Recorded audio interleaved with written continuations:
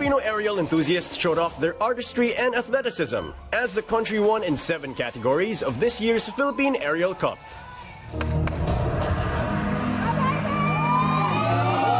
First-timer Irene Rivera reigned in the amateur hoop women's category. While Cebu-based pole lover Welchi Labasan dominated the professional pole women's category. They were supportive from the start, pero because of the competition, I had to train a lot more.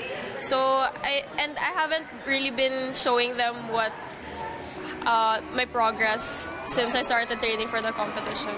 So siguro nagbigla rin sila. Madami pong preparation na especially this kind of uh, sports. Um, una yung diet, yung tricks na gagamitin mo sa sayaw, yung music, dami. Tapos yung ano pa, exercises, yung cross-training na dapat maganda, maganda yung smooth, ah, maganda yung flow ng tricks. Organizers say around 80 participants flew in from different countries just to participate in 15 categories. nagkaroon din ng awareness na parang, uy, ito pala yung aerial. Ano ba yung aerial? Parang, nung nakita nila, ang ganda pala. Sobrang elegante. We would like first to thank everyone for supporting Philippine Aerial Cup 2018.